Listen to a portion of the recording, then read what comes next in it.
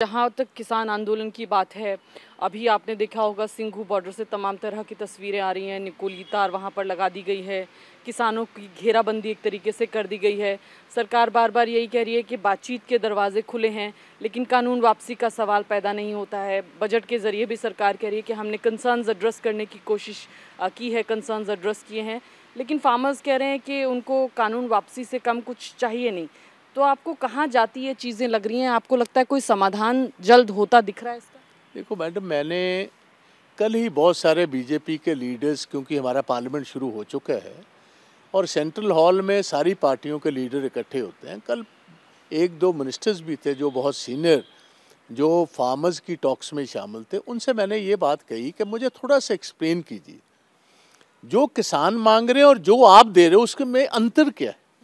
आप कह रहे हो कि हम जो कानून बन चुके हैं, उनको हम स्टे कर देते हैं। दो साल के लिए, ढाई साल के लिए स्टे कर देते किसान ये कह रहे हैं कि यो, जो कानून बना है वो वापस ले लीजिए। मैंने कहा जी, मुझे थोड़ा सा टेक्निकली समझाएँ, इसमें फ़र्क क्या है?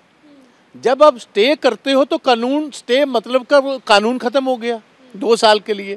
और हम भी कह रहे हैं कि आप नए कानून दो साल में ले आओ, सभी स्टेक होल्डर से बात कर लो।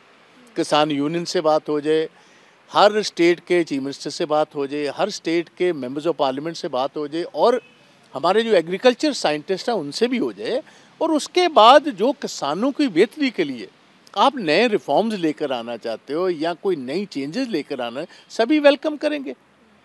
तो मुझे ये बताएँ कि आप एक ईगो पर बैठे हुए आपकी ईगो सेटिस्फाई नहीं हो रही, और मैं भाजपा सरकार को कहना भी ये चाहता हूँ कि भाई, हमारे साथ ऑपोजिशन के साथ तो आपकी कोई ईगो की प्रॉब्लम हो सकती है। हम आपकी अपोजिशन पार्टीज़ के लोग हैं। हमारी बात तो आप ना मानो। कम से कम किसान जिसने आपको चुनकर भेजा है। साठ परसेंट हिंदुस्तान किसान किसान खेती करता है।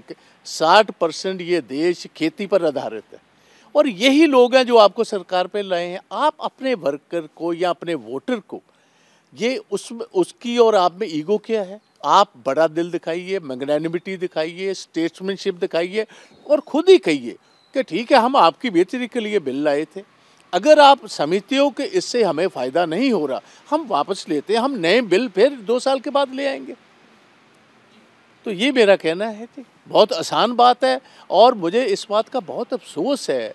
जो तौर तरीका आप गवर्नमेंट का देखा है ऐसे लग रहा है कि ये पाकिस्तान और चीन की तैयारी जो तो हमारे चाइना और पाकिस्तान के बॉर्डर्स पर होनी चाहिए थी, उतनी तैयारी अपने लोगों के लिए कर रहे हैं।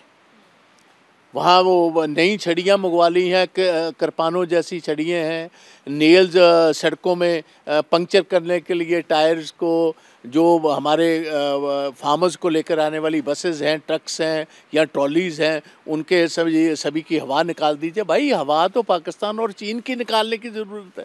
आप अपने किसानों की, अपने अन्नदाताओं की ही हवा निकालने की, मैं तो हैरान हूँ कि तौर तरीका क्या है। ये जंग किसानों से है कि जंग तो हमारी पाकिस्तान और चीन से? बहुत बहुत शुक्रिया हमसे बातचीत के लिए। तो बाजवा साहब साफ़ तौर पर कह रहे हैं कि जंग जो है वो ऐसा लग रहा है कि किसानों से है। और इसी चीज़ को जो है उन्होंने कहा। बहरहाल पंजाब सरकार ने काफ़ी सारे ऐलान किए हैं कि वो हेल्प करेगी ऐसे तमाम फार्मर्स की जिनके ऊपर जो केसेस हुए इस आंदोलन के दौरान उनकी। कैंपसन प्रवीण के साथ विजयलक्ष्मी, इंडिया टीवी, दिल्ली।